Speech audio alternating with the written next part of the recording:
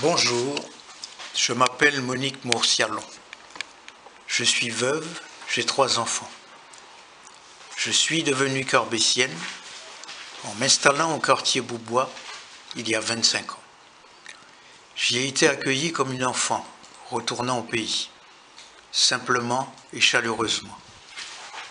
Peu à peu, je me suis investi dans la vie du quartier, puis au niveau de la commune elle-même. J'ai été troisième adjointe au maire sous la mandature Mauriès, puis conseillère municipale de l'opposition depuis 2014. Mon objectif a toujours été le même, la solidarité entre les quartiers, la prise en compte de l'éloignement des uns et des autres, redonner la vitalité au Corbet. Vingt ans après, avec Louis-Georges Griffith, je reprends mon bâton de pèlerin pour réhabiliter ce qui a été défait et pour rendre le Corbet ambitieux à nouveau.